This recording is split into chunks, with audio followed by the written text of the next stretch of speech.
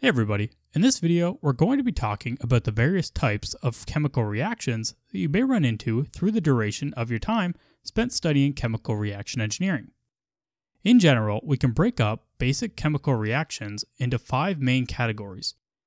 These are synthesis reactions, decomposition reactions, single replacement reactions, double replacement reactions, and combustion reactions. We're going to now go through each of these reactions and describe what they mean, what they look like, and give a proper example of each so that you fully understand them all. Alright, so firstly we have a synthesis reaction. A synthesis reaction is simply the combination of two formally separate molecules. So, if you have this orange square here, and it will react with this blue sphere, then we are going to have a product that looks like this. An example of this in real life that you may be familiar with is salts. So, by combining 2 moles of sodium, which has a symbol of Na, with a single mole of chloride, then we get sodium chloride, which is just table salt, that you would put on your french fries, for example. The second type of reaction that you will likely run into in this chemical reaction engineering course is a decomposition reaction. This reaction is basically the opposite of the synthesis reaction that we just talked about. We begin with a molecule that looks like this.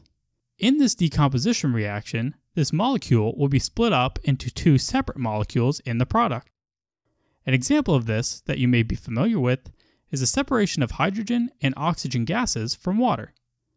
So, by beginning with water and applying an electrical current and a few other minor steps, we can separate hydrogen and oxygen from the water. The third type of reaction that you could run into in this course is called a single replacement reaction. In a single replacement reaction, it is exactly how it sounds. One molecule in our reaction will replace another molecule. So, let's imagine that we begin with these two molecules here, and we want to replace the blue sphere here with this white star. Well, using a single replacement reaction, that is exactly what happens. The white star will take the place of the blue sphere, and that blue sphere will detach itself from the orange square. An example of this in real life is the following. If we mix potassium, K, with sodium chloride, the table salt that we talked about creating earlier, then the potassium atom will replace the sodium atom, and we will be left with the potassium chloride, and the sodium atom will be by itself.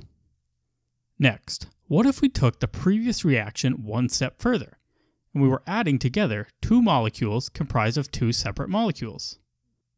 Well, as you would expect, this is called a double replacement reaction. This means that one part of the molecule in the left molecule will replace a piece of the molecule in the right molecule, and that newly removed piece from the right molecule will attach to the molecule on the left. An example of this is when we add hydrochloric acid and sodium hydroxide together. The hydrogen and sodium replace one another and we are left with sodium chloride and water. Lastly, we have a combustion reaction. Many of you are probably familiar with this reaction if you've ever seen a fire.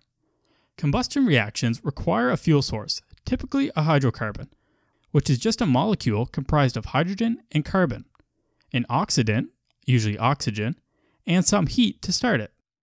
Chemically, this looks like the following.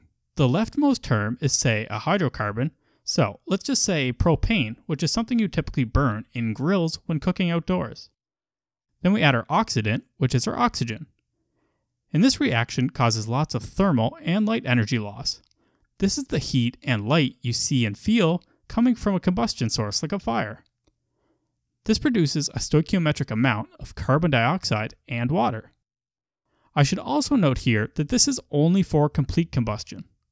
Without complete combustion, you could end up with some other products, such as carbon monoxide, just carbon, or numerous other byproducts.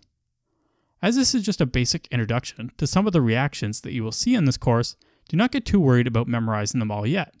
As we continue to work our way through the course, these reactions will become much more familiar and easier for you to recognize. Thank you for checking out this video and I hope it helped your understanding of the basic chemical reactions in reaction engineering, and what they look like in theory and a brief understanding of the real world applications. If you enjoyed, please like, subscribe, and consider checking out our Patreon page to support the channel. However, if you have any comments, questions, or concerns about the information I provided in this video, please leave a comment down below and I will do my best to address your concerns.